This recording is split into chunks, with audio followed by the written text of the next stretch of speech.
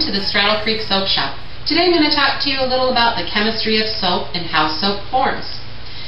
What exactly is soap? Soap is the salt of a fatty acid, but that's a mouthful. Simply put, you have a fat or an oil, you mix it with an alkali, and in this case that alkali is lye, and you get soap. But how exactly does that happen? Well, all things, living and non-living, are made up of atoms. If you remember from your high school chemistry days, that periodic table of elements, those are your atoms. Those combine to form molecules. And in the case of soap, you have your fat or oil, that's one molecule, and you have your lye, which is your other molecule. These combine and they form soap. So when those fats and those and the lye mix together, there are two chemical reactions that happen. The first chemical reaction is that they all break down into their component parts. And after they break down into their component parts, and pretty much simultaneously, all those component parts mix up and they form new molecules.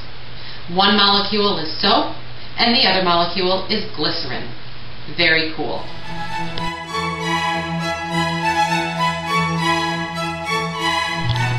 And now you've seen that chemical reaction in writing. You could see how the molecules break down and then bond together to form new molecules, soap and glycerin. I should mention that all this chemical reacting occurs in water. Water is the place where all of the molecules can break up, mix freely, and bond together to form those new molecules and make that fabulous bar of soap. This also means that there's a little bit of water in every bar of soap, and that's good news for your skin. You still with me? We've got just a little more to go. What would happen if some of the lye molecules couldn't find new partners?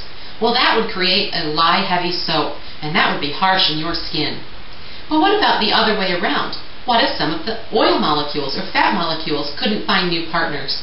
Well, now you have super fatted soap, and you have just a little bit of oil left in each bar. That oil adds moisture, vitamins, and minerals for your skin. Oils like olive oil, avocado oil, almond oil, these are healthy for you. And that's extra fat, guilt-free. Be sure to check out all our fabulous, healthy, super fatted soaps at the Straddle Creek Soap Shop. That's www.thestraddlecreeksoapshop.com.